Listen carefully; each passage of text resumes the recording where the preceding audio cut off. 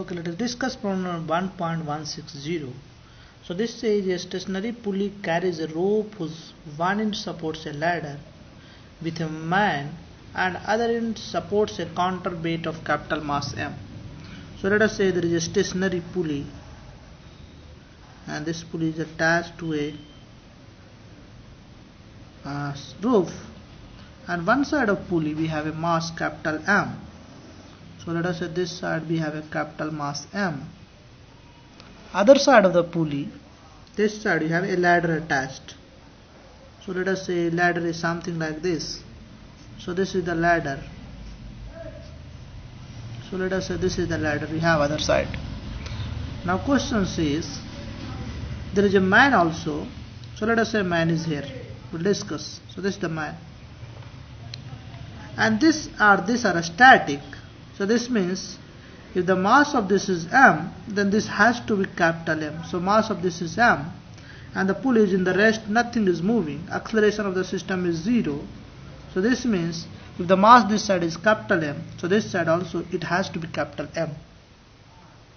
Now question says the man of mass m climbs up by a distance L, L dash. So let us say this is the mass of man is m that is given to you and let us say mass of ladder is m dash. So m dash is mass of ladder. Mass of ladder. So let us write fast so this is mass of ladder. And then you have m. That is basically mass of man. That is also given to you. So mass of man is given to you. Mass of ladder is given to you now question says man moves up by distance L with respect to the ladder. So L is the displacement of man with respect to the ladder. So L is the distance displacement of man and this is up. So the man moves up. Displacement of man. This is with respect to ladder. This is also given to you. This is with respect to ladder. So if ladder is going down then total distance will be not L with respect to ground it will have something different. Now question says are neglecting the mass of rope and the friction of pulley axle find the distance of displacement of center of mass of system? So question says find out displacement of center of mass of the system. So this we have to find out. So how we will proceed? So let me say uh, ladder of so let us say ladder is initially something like this. Let us say ladder has moment so center of mass of ladder is somewhere here. And the mass m also lies on the same point. There is a ladder center of mass and mass m coincides. So this is the center of mass of ladder. And the mass m also lies here. So initially i am assuming that the center of mass of ladder is L by 2 so this distance of the total is L by L then center of mass of the ladder will lie at a distance L by 2 and I'm also saying this person also resting on the center of mass of the ladder. It will not basically uh, change the final result. So I can assume let us say this is a distance from pulley axis. So initially I will assume the distance from pulley axis this is x1 are you getting? So this is the x1 distance of center of mass of ladder plus man system is at a distance of x1 now let us say this is at a distance of x2 so mass capital M is at a distance of x2 now what are the relations we have? We will have since this side and this side is static that is in the rest so I must have m plus m dash it should be equals to m. So this is the first relation I have now I can find what is the center of mass of system xcm initially.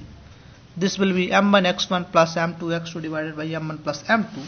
Now let us take downward direction as a positive. So my downward direction is positive in this case.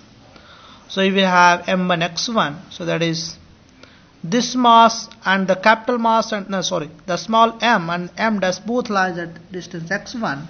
So I will have m plus m dash into x1 plus m into x2 divided by m plus m dash plus m. And now I also know m plus m dash is basically capital M so I can plug this value.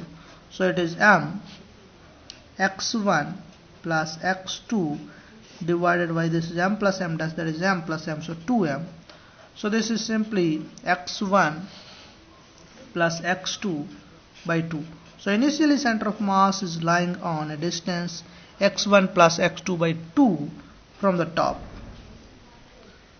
Now the second point is important. Are you getting or not? So what I am saying is, I am saying initially this mass capital M lies at a distance of x2 from the pulley axis. Ladder center of mass lies at a distance of x1 from the pulley axis. I am also seeing a small mass M that is in the middle of the ladder the a distance of L by 2 so if this lies in the middle of the ladder so this means the distance from the pulley axis to the mass man M will also be at, at a distance of x1 You're getting? And now let us discuss if the man moves up by distance L what will happen in that case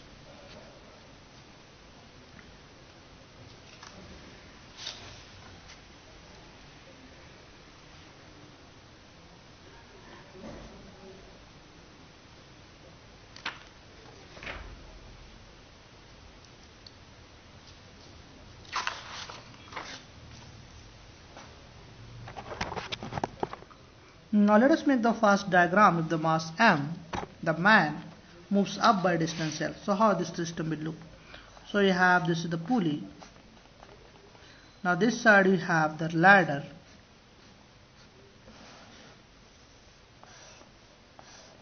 And this side you have mass capital M. Are getting? Now let us say this man initially was here. Now it moves up by distance L. So now let us say mass is somewhere here so I can make another. So let us put one more. So let us mass is somewhere here now. Are getting so you can have some dense ladder.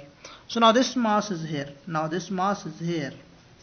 And the distance that is moved by the mass m in the upward direction is L. Now let us say ladder moves by distance z in the downward direction. What will happen if the man goes up?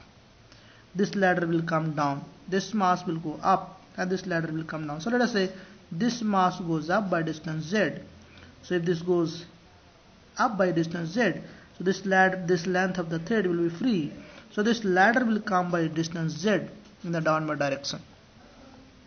Are you getting?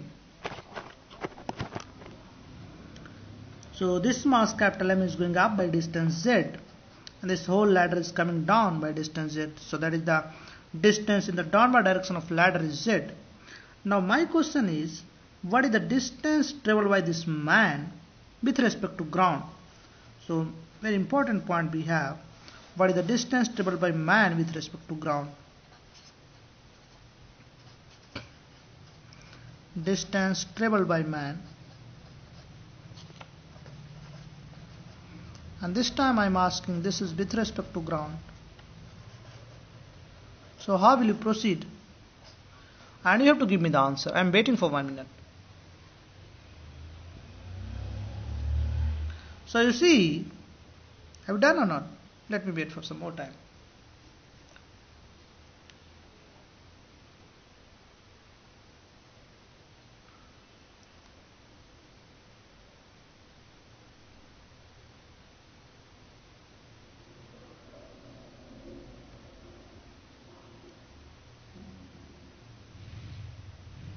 Okay, so I can write distance traveled by man with respect to ground this is equals to distance traveled by man with respect to ladder plus distance traveled by ladder with respect to ground.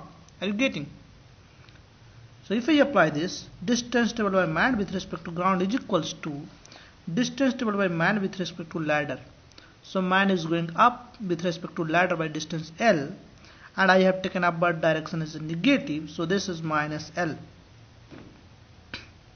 now distance traveled by ladder with respect to ground. So you see have said ground with respect to ground this ladder is coming downward with uh, distance z.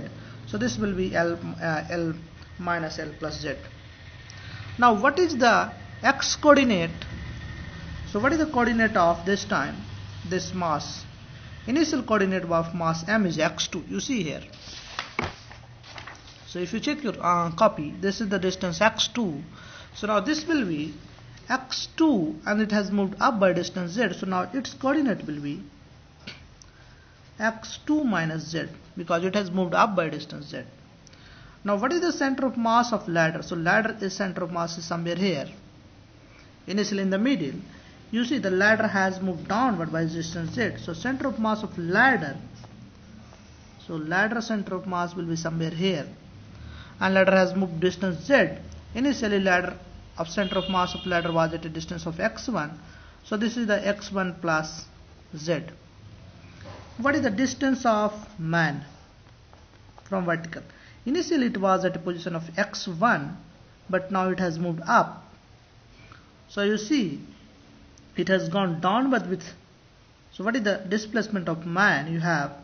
So you have displacement of man in the downward direction is this because I have taken z downward direction as positive this is negative. So distance of man displacement of man with respect to ground in the downward direction is this. So what is the total x coordinate of this man? Initially it was x1 so it was initially x1 and it has gone downward with a this displacement z minus l. So now it will be x1 plus z minus L. Are you getting? You try to understand once again. So displacement of man with respect to ground is this. Now initial coordinate of man was x1, the same coordinate you see. Initial coordinate of man was x1. So this is the man coordinate initially, x1. Now man has gone down with respect to ground by a distance of z minus L. So this is z minus L. So what is the total distance by which man has gone in the downward direction? You can see initial was x1. Now what is the uh, coordinate basically? So initial was x1 and it has gone downward direction by z minus l. So the in final coordinate you will have x1 plus z minus l. So that I am writing here x1 plus z minus l. Now if I write center of mass again, so xcm will be xcm finally let us say call this a dash m1 x1 so mass of this is m. And coordinate is x2 minus z. So m into x2 minus z plus mass of the man is m. And the coordinate is x1 plus z minus l. So this is m plus m into x1 plus z minus l plus mass of this is mass of the uh, ladder is m dash and the center of mass of the ladder is x1 plus z. So m dash into x1 plus z. I think some of you are able to understand this one. If you are not able to understand please think again. So this is the center of mass x coordinate and then I have to divide by total mass. That the total mass again m plus m dash plus capital M that is 2m are you getting or not? Total mass will be 2m, m plus m dash that is equals to capital M and then you have to add m so this is 2m. Now let us try to see this one. So what we are getting. So let us take z, uh, z term, term of z at one place. So we'll have mx2 and there you will have so this z is one sided so you will have mx1 here m into x1 this term and minus m into L. And here we will have m dash into x1 and let us put the z term one side. You will have z. So you will have minus m here. Calculating. And here you will have plus m. And here you will have plus m dash. And this divided by 2m so if you uh, basically simplify this equation you will have this is equals to 0 because m plus m dash is equals to capital M. So m dash m dash plus m is capital M minus capital M. So this is equals to 0. So this term is 0. So I will have mx2 and if I take x1 common so I will have mx2 and if I take x1 common so this will be have m plus m dash that is basically capital M so this becomes m into x1 are getting because m plus m dash is capital M minus m into L divided by 2m are getting and now it is very simple to find what is the difference in initial XCM and the final XCM so the same thing can be written also in a better way. So we can write so I can write this same equation m m goes out. So I will have x1 plus x2 by 2 minus ml by 2m this is the final XCM dash. Initial XCM you have you can check your copy. That is x1 plus x2 by 2 you see here. So this is x1 plus x2 by 2 so initial CM XCM is Uh, x1 plus x2 by 2 so what is the change? So final minus initial if I do x dash cm minus xcm this is so this goes out so I will simply have minus ml by 2m so this is the delta xcm minus ml divided by 2m